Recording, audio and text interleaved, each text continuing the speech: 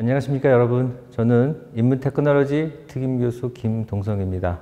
제가 발표할 주제는 인문학과 테크놀로지, 테크놀로지와 인문학의 결합입니다.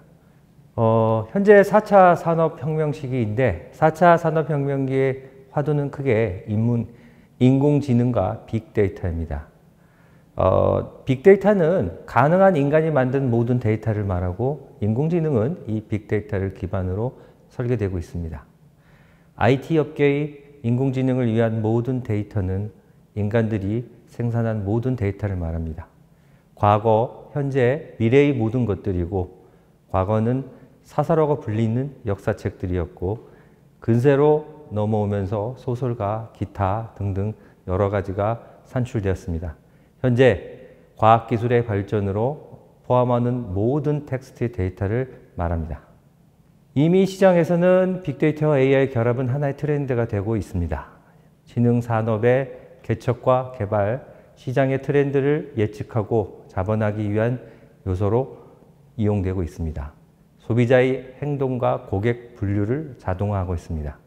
그리고 개인화 시스템과 디지털 마케팅 캠페인을 최적화하고 있습니다. 빅데이터, AI 기술은 예측적 분석을 통해서 지능적 결정에 많은 도움을 주고 있습니다. 어, 자, 이제 인공지능의 요소 기술들과 그 기술 안에 들어있는 인문학적 내용들을 보겠습니다. 추론화 기술, 기계학습, 딥러닝, 로보틱스, 자연어 처리, 컴퓨터 비전, 자동학습이 있습니다. 추론화 기술 안에는 논리적 판단에 대한 기술들이 들어있기 때문에 논리학이라는 분야가 들어있고 로보틱스는 로봇이기 때문에 로봇이 움직이고 판단하고 기억하고 말을 쓰기 위한 판단장치, 기억장치, 말과 연관된 모든 장치는 인문학적 기술입니다. 자연어 처리는 말에 대한 이해가 절대적이기 때문에 언어에 대한 이해가 절대적이기 때문에 이거는 필수적인 요소가 되겠습니다. 자동 학습 기능은 역시 기억, 심리, 학습이라는 요소가 들어있습니다. AI는 현재 인간을 꿈꾸고 있습니다. 가장 인간적인 요소는 가장 자연스러우며 가장 완전한 지능입니다. 우리는 가장 인간적인 AI를 꿈꾸고 있습니다. 자, 가장 완벽한 AI는 가장 완벽한 인간의 지식이 필요합니다. 도서관은 인류 지식의 시작입니다.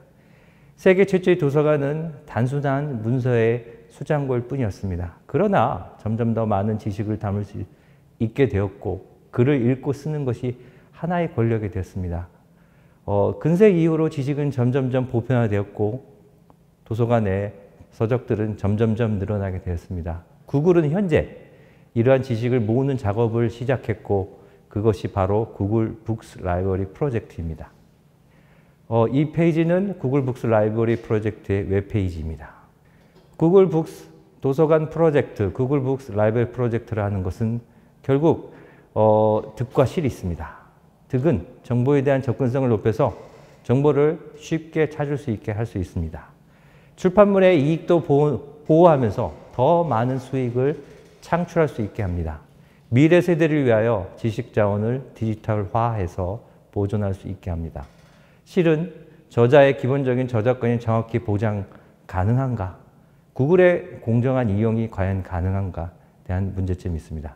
그러나 가장 중요한 문제는 어, 그리고 구글 프로젝트가 성공해서 세상의 모든 서적이 디지털화된다면 과연 어떤 일들이 생길 것인가? 또한 어떠한 지능이 만들어지는가? 자, 이제 정확한 이해를 위해서 구글 북스 라이브러리 프로젝트의 결과물 중 하나인 구글 Ngram Viewer를 살펴보겠습니다. n-gram이라는 것은 아, 아주 단순한 단어의 순서상입니다. 단순하지만 엄청나게 많은 데이터를 가진다면 이 수많은 데이터를 쌓으면 지식 자체가 됩니다. 도서관에 많은 책을 다 조사한다면 더 많은 지식이 모일 것입니다.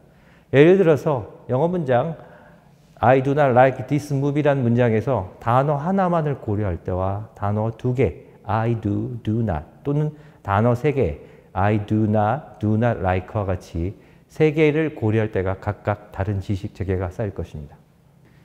자, 우리는 하나의 문제에 대해서 어, 답을 할 필요가 있습니다. 이게 아주 재미있는 문제입니다. 구글 Ngram Viewer를 통해서 United States라는 어, 명사에 대해서 그 다음에 어, 단수가 될 것인지 복수가 될 것인지를 살펴보는 것을 앵그램 비어를 통해서 그려보도록 하겠습니다.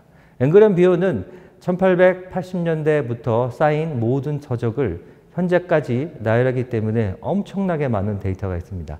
그 데이터에서 과연 United States라는 복수 명사는 복수가 될지 아니면 단수가 될지요. 단수가 된다면 무슨 의미일까요? 미 합중국은 여러 개의 주로 이루어진 국가이기 때문에 결국 복수입니다. 그러나 현대의 미국 사람들은 이것을 단수로 쓰고 있습니다. 그거는 United States라는 국가가 하나의 국가이기 때문입니다. 자, 우리가 미국 남북 전쟁을 생각해 볼 수 있습니다. 미국 남북 전쟁은 굉장히 지금으로부터 150년 전에 일어났죠. 그런데 United States와 United States is와 United States are의 두 가지 대립 관계를 살펴보면은 실제 남북 전쟁이 끝나고 나서 오랜 기간 동안 두 어, 용법들이 경쟁을 하다가 결국 United States is라는 용법이 승리하게 됐습니다. 무려 30년이라는 세월이 흘렀습니다. 우리는 이 30년 동안 과연 어떤 일이 있었는지 어, 자유롭게 발, 발견할 필요가 있습니다. 그래야지 미국이라는 국가가 어떻게 탄생했는지를 살펴낼 수가 있겠습니다. 또 한 가지로 데이터와 가시 있습니다.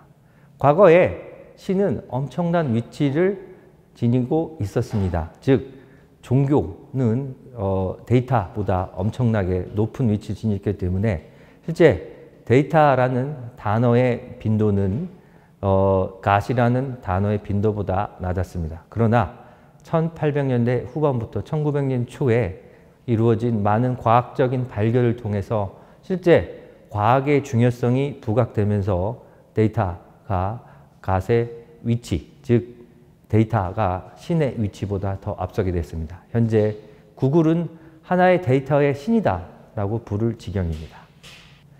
어, 다 아시겠지만 구글 트렌드가 있습니다. 구글 트렌드에서 도널드 트럼프가 힐러리 클린턴을 승리하는 것을 예측을 했습니다. 다른 설문조사, 사람을 통한 설문조사가 가짜로 예측을 했을 때 도널드 트럼프가 이긴다는 것을 알게 되었습니다. 또한 어, 구글 트렌드는 미국 질병센터보다 인플루엔자의 유행을 더 잘, 더 빨리, 더 싼 비용으로 예측할 수 있습니다. 자, 이제 하나의 실험을 해보고자 합니다. 자, 텍스트에서 특정 정보를 추출하고 과연 추출된 정보가 어떻게 활용되는지 실험할 것입니다. 실제 인문학적 텍스트를 통해서 추출된 정보의 활용도를 살펴보고자 합니다. 인문학 데이터가 데이터로, 데이터로서 어떠한 가치를 지니는지를 살펴보고자 합니다.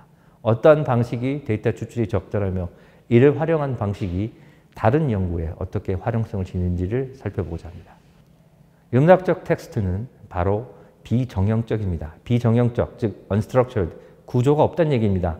정보성이 있는 것과 정보성이 없는 것을 분리해서 정보성만을 추출해야만 합니다. 일정한 양식이 없기 때문에 정해진 양식에 맞추어서 추출해야만 합니다. 정보성은 인과성에 기초하므로 이를 활용해서 지식 체계에 맞게 추론해야만 합니다. 어, 밑에 있는 그림과 같이 엑셀 스타일 시트처럼 하나의 셀에 번호 1번과 그 이름과 그 키가 정확히 기록되는 것은 정형화된 데이터입니다. 하지만 텍스트는 그냥 구조를 알 수가 없습니다. 단순하게 학생들의 키를 측정했는데 1번 철수는 170cm, 2번 영희는 얼마, 3번 영수는 얼마. 이와 같은 데이터에서 어, 셀과 같은 어, 스타일의 엑셀 스타일의 정형 데이터를 추출해야만 합니다. 자, 이제 소설 데이터를 살펴보고자 합니다. 소설 데이터는 완전한 비정형 데이터입니다. 이러한 비정형 데이터에서 정형적 순서를 탐지할 수 있을까라는 질문을 던지고자 합니다. 특정 소설이 서사적, 서사적 관점을 통해서 나타난 특징을 살펴보면 비정형성에서 정형적 데이터의 흐름을 살펴볼 수 있지 않을까라는 질문에 답을 할 것입니다. 이러한 data science 관점의 고찰이 주는 의미는 무엇입니까? 서사 구조를 데이터 과학으로 이해하고 처리할 수 있을까? 데이터 과학에 대한 이해를 바탕으로 다른 테크놀로지의 발전으로 이어질 수 있을까라는 질문에 답을 하고자 합니다. 자, 가상 공간에서 어, 공간의 변화는 매우 어려운 예측입니다. 어, 가상 공간에서 공간을 변화시키는 것을 결정하는 것은 매우 어렵습니다. 단순히 사용자의 움직임만으로 공간이 변화한다면 사용자의 움직임이 없다면 공간의 변화가 없습니다. 그렇다면 사용자의 움직임만을 감지한다고 해서 전체 가상 공간 흐름이 자연스럽게 이어질 수 있을까요? 가상 공간에서 공간의 변화의 예측은 어렵습니다. 공간은 하나의 좌표로 예측되는데 머리의 움직임에 따라서 X, Y, Z라는 3차원 3D 공간에 대한 것이 변화하게 됩니다.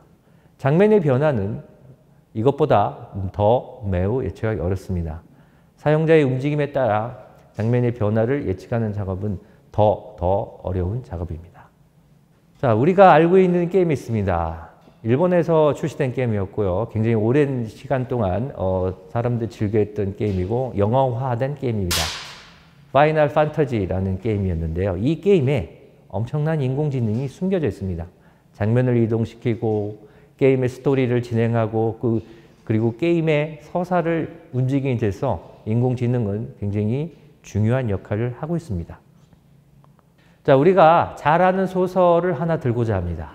어, 교과서에도 나와 있고요. 그리고 어, 수학능력 시험에도 어, 많은 출제가 되었다고 합니다. 소설가 정강용의 소설입니다. 바로 껍비탄이라고 합니다. 이 작품은 1962년 7월 사상계에 발표된 소설입니다. 껍비탄이라는 것은 영어 캡틴에 해당하는 러시아어입니다.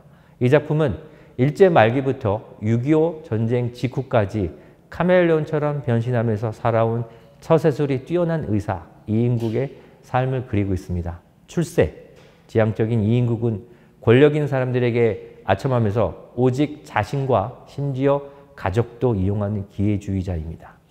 어, 내용을 간략하게 개관을 하면 이 소설은 현대 소설이고 단편 소설이고 풍자 소설입니다. 그리고 비판적이고 풍자적 성격이 그득합니다.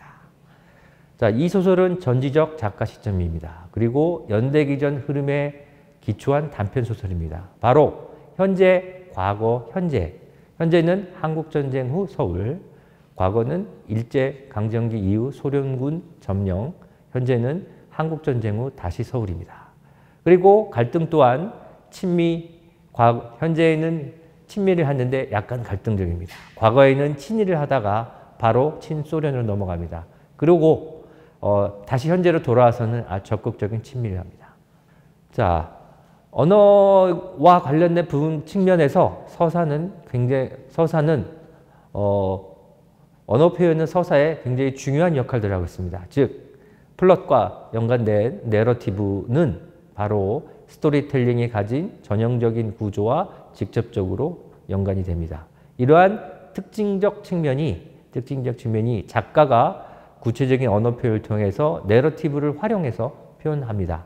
어, 파울러란 이 학자는 어, Linguistics and Novel, 언어학과 소설이라는 책에서 특징적 언어 패턴들이 내러티브에 대한 언어 표현으로 나타난다고 얘기하고 있습니다. 바로 행동주, 동사, 대상주라는 언어학적인 용어들이 구조화되게 되는 것입니다. 예를 들어서 어, 다음과 같은 영어 표현을 구체화되는데 X does something 또는 X does something on Y X does something related with concrete thing or action onto Y와 같은 표현들로 구체화되면서 내러티브를 표현할 수 있다고 합니다.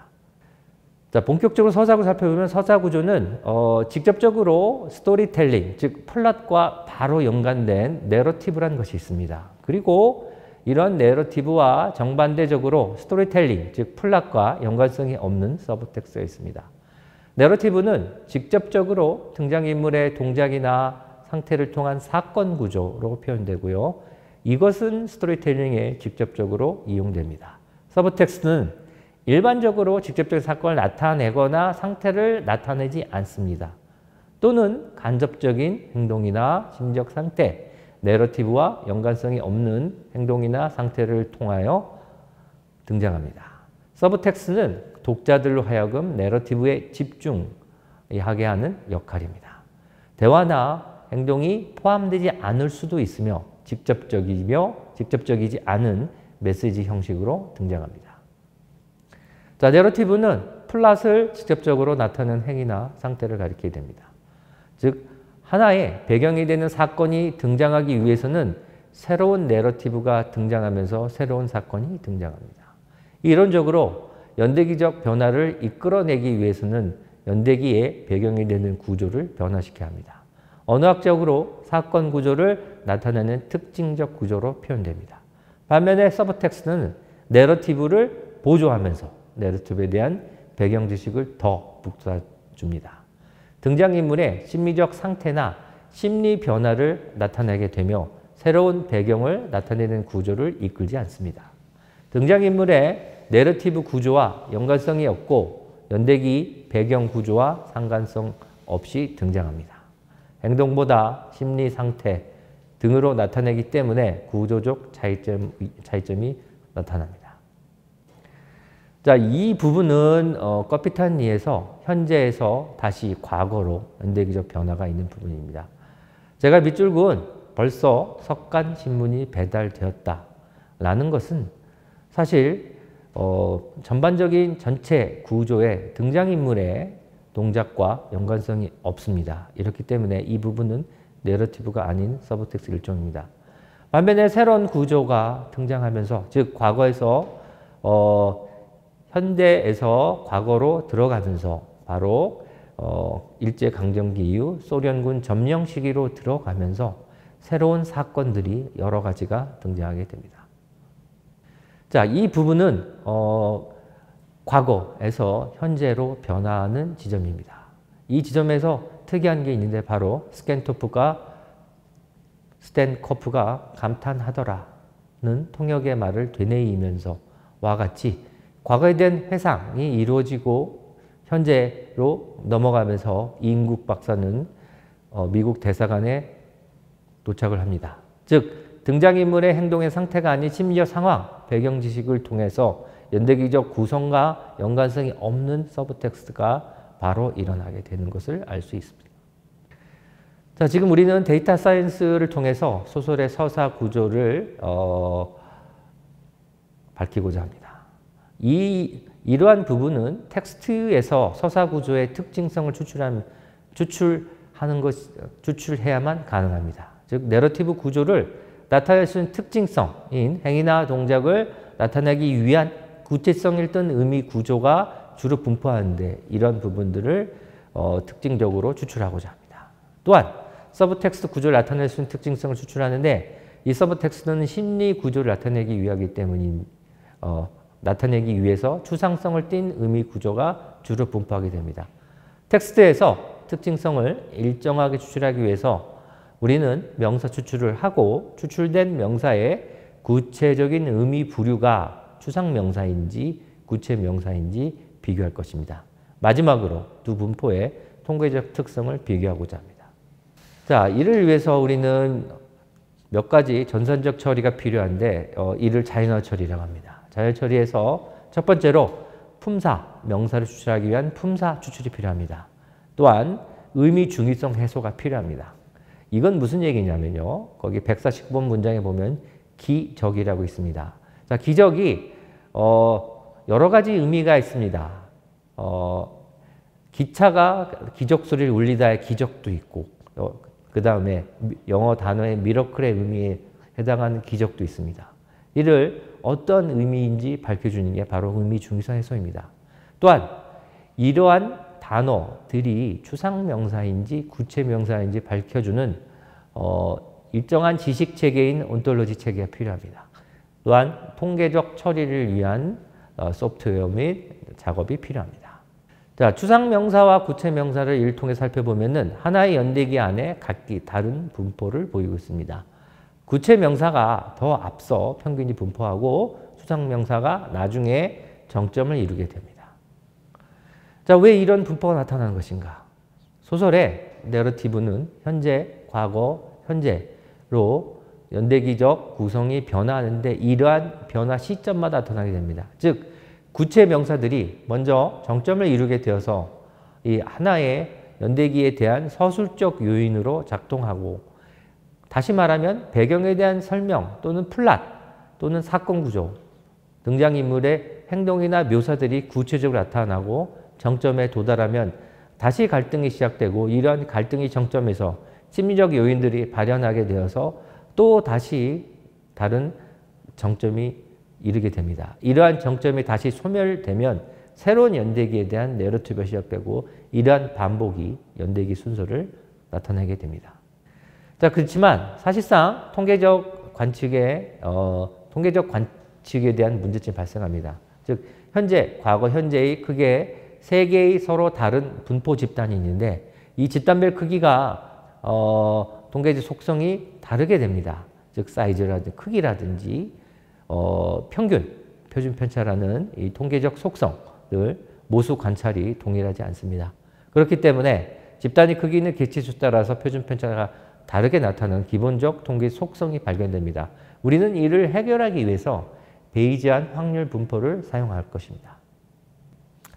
또한 수사학적 문제점이 있습니다. 이를테면 어, 우리는 비유법이라는 어, 방식이 있습니다. 이 비유법 안에는 은유, 환유, 의인, 의성, 의태, 대유, 직유라는 여러 가지 복잡한 수사학적 방법론이 있, 있습니다. 예를 들어 내 마음은 호수요 라는 어, 문맥에서 마음은 추상명사이면서 호수는 구체명사입니다. 그렇다면 이것은 추상명사, 구체명사가 두 개가 같이 나왔기 때문에 복합적인 하나의 문장에 활용되었습니다. 그렇다면 이건 도대체 어느 부분의 내러티브인지 서브텍스트인지 라는 더 큰 분류에 일관적으로 적용되게 하기 위해서는 서로 다른 분포성을 나타내기 위해서 구체와, 구체와 추상은 각각 narrative subtext의 주요 특성을 하고 narrative subtext라는 분류 기준을 유지해야만 합니다. 자, 이를 위해서 우리는 Bayesian 통계를 통계 방식을 처리하고자 합니다. 자, Bayesian 통계 방식은 어, 이항 분포를 갖고 있습니다. 즉 x이다, x가 아니다.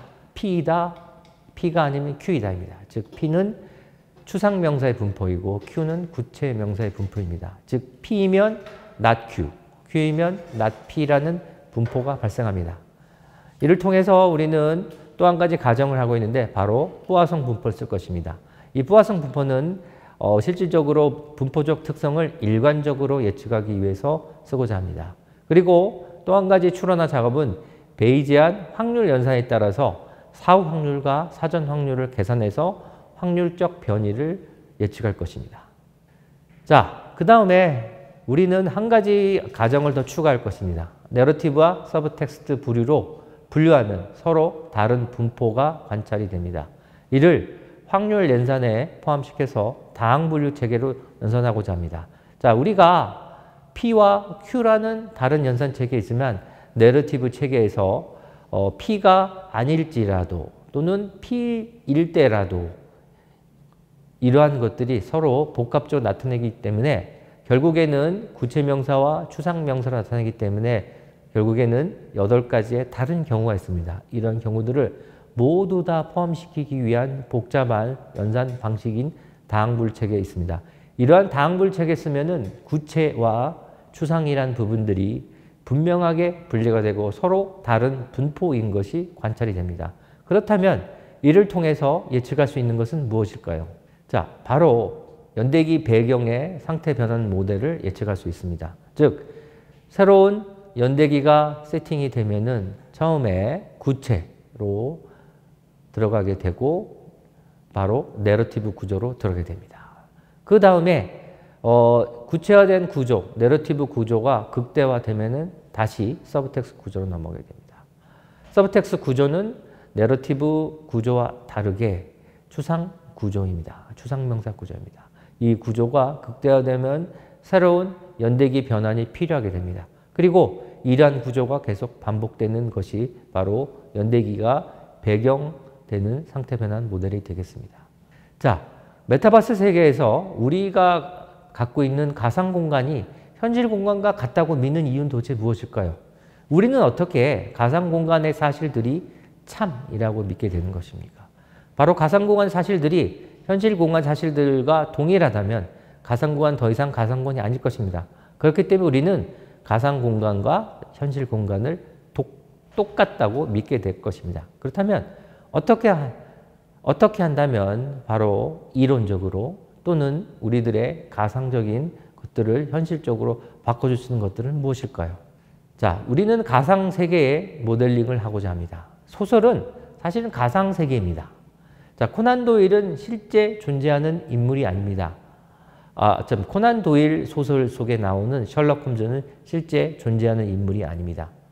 그렇지만 우리는 이러한 허구의 세계에서 셜록 홈즈가 가상 인물이지만 가공 인물이지만 우리는 셜록 홈즈가 어, 존재한다는 사실을 믿고 있습니다. 그렇다면 어떻게 이런 것들이 가능할까요? 바로 우리는 가상 세계들의 집합들 역시 가능하다고 믿기 때문에 가상 세계 속에 허구 속의 인물들이 존재한다고 믿게 됩니다. 이러한 논리들이 바로 철학에서 얘기하는 인식 논리의 발전, 어, 최후의 어떤 발전인 지식, 신념, 세계관, 상식 등 알고 있다는 모든 것이 총칭된 철학적 분석의 어, 체계인 바로 20세기의 사울 크리케가 주장했던 에피스테믹 라직, 인식론적 논리 체계인 것입니다. 소설 속의 가상 공간에서 루이스 1978년도에서 이런 주장을 했습니다. 현실의 특정 사실공의 전제들이 모두 사실이라면 결론도 역시 참인 것처럼 도출됩니다. 마찬가지로 소설의 사실공간의 전제들이 참이라고 믿게 된다면 소설의 결론도 결국은 참인 것으로 함이 된다고 합니다. 이러한 전제들로 인해서 개별 사실이 참이면 결론도 참에 가능하다고 제안이 됩니다. 그렇다면 셜록 홈즈는 베이커가에 살고 있기 때문에 워털루 기차역보다 패딩턴 기차역에 더 가깝게 산다. 여기서 셜록 홈즈만 담은 이건 사실입니다. 그러면 이 사실인 공간에 셜록 홈즈가 사실인 것으로 믿어지기 때문에 전제에서 실제로 존재한다는 결론에 도달할 수 있다고 주장된다고 합니다. 이러한 철학적 논제들이 소설의 내러티브와 다른 서사 방법들이 어떻게 결합되어져야 하는지 문학 이론적으로도 탐구져야 될 문제로 확장될 수 있다고 주장됩니다.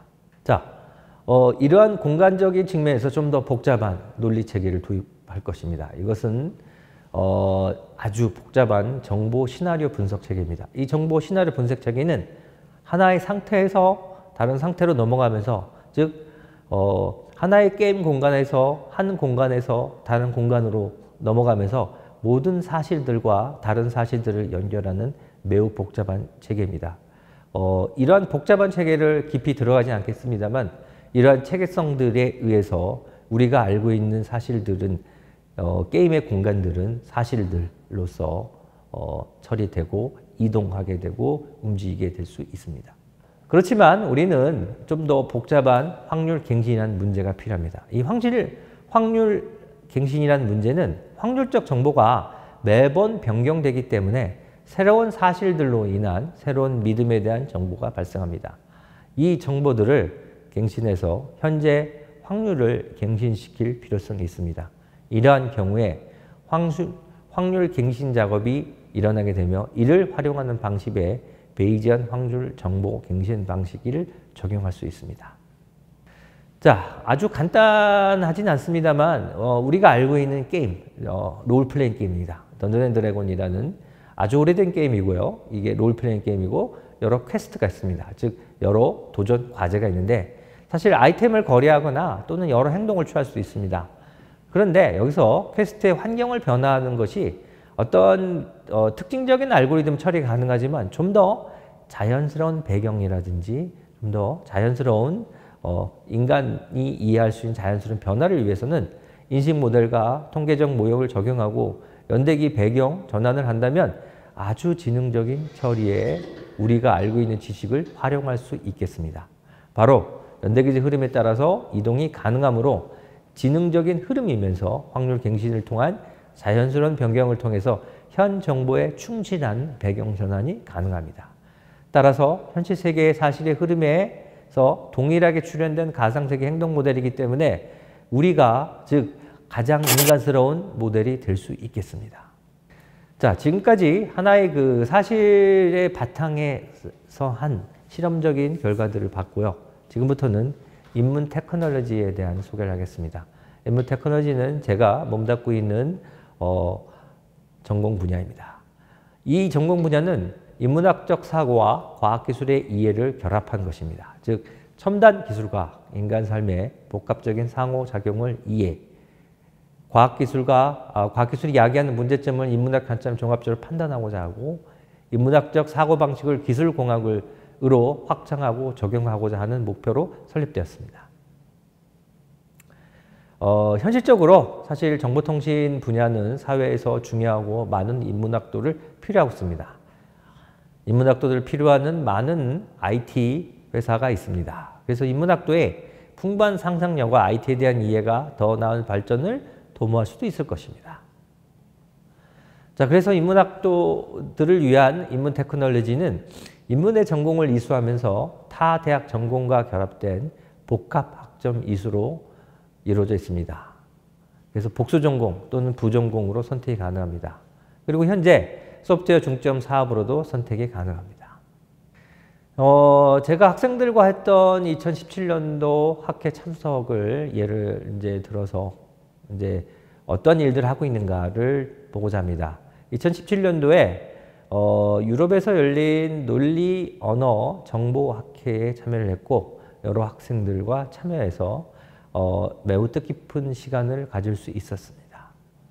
자 그리고 또한 2017년도에 이대에 가지고 있는 다양한 복지 자원을 활용해서 코딩 교육을 했고 실제 초등학교 학생들을 초대를 해서 저희가 코딩 교육을 해봤고 어, 코딩 교사의 가능성과 학생들이 교사로서 활동을 코딩 교사로서 활동을 하고 아이들에게 많은 어, 코딩 학습을 짧은 시간 동안 했던 이런 시간을 가질 수 있었습니다.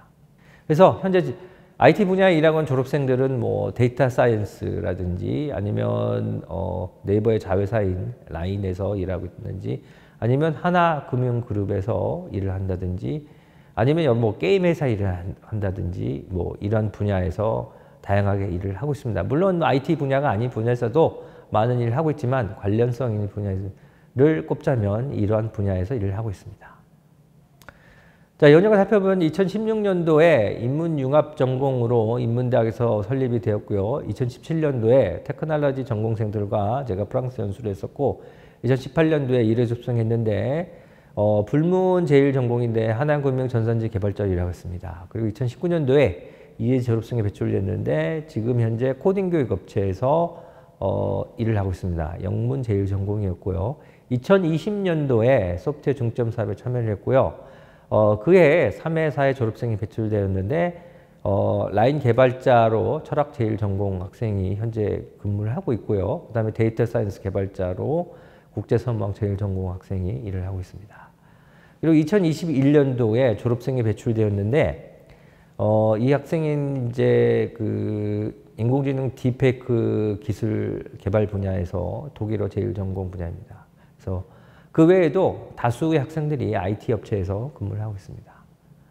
인공지능과 연관된 분야도 있지만 인문 테크놀로지에 관련된 교과목은 체계적으로 구성되어 있습니다. 일단 기초 조성을 위해서 기초 과목과 중급 과목으로 구성되어 있고 이를 통해서 좀 더 향상된 교과목이 있는데 data science 교과목도 있고요. 그리고 어, 미래지향적인 교과목으로서 인공지능과 자연어처리, 가상현실과 같은 부분들이 있어서 실제 인문 테크놀로지 교과목은 세 가지 목표가 있습니다. 가상현실, 인공지능, data science입니다. 자, 인문학과 테크놀로지의 결합은 단순한 어, building block과 같은 결합은 아닙니다. 이것은 단순한 연산적인 결합이 아닙니다. 서로 조립하듯이 결합되지 않습니다. 사실 두 가지 분야를 서로 녹여서 하나로 만드는 것과 같습니다. 그래서 인문학과 테크놀로지 결합해서 인문 테크놀로지 만든다는 얘기는 마치 어, 치즈를 녹여서 뽕듀를 만드는 것 또는 물감이 서로 섞이는 과정과 같다고 생각이 됩니다. 네, 여기까지 제가 준비한 발표였고요. 어, 발표를 지금까지 들어주셔서 고맙습니다.